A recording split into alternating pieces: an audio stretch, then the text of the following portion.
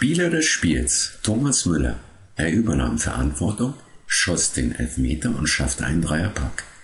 Er legte sich mit Pepe dem Schrecklichen an und forcierte dessen Platzverweis. Danach war er stocksauer, stand voll unter Strom, selbst noch beim Jubel über sein 3 zu 0. Der Torschützenkönig der WM vor vier Jahren vermittelte in jeder einzelnen Sekunde. Leute, Südafrika 2010 war erst der Anfang.